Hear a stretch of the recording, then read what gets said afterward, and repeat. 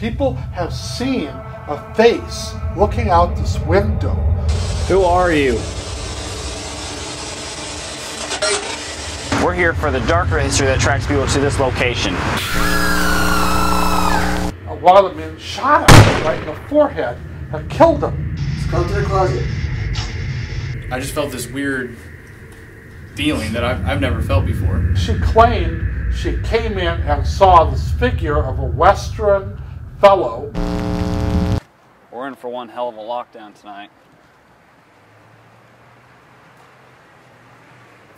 I have a feeling we're going to catch something.